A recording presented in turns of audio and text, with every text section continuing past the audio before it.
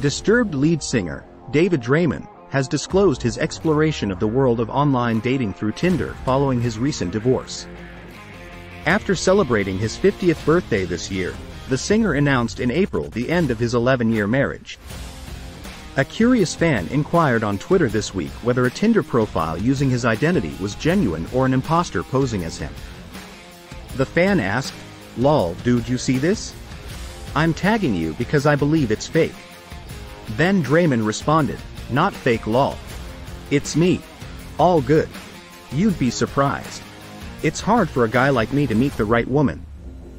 I'll tell you, it's been weird so far. Lots of scammers. Trying to figure out how to navigate this new terrain. Read more at metaladdicts.com.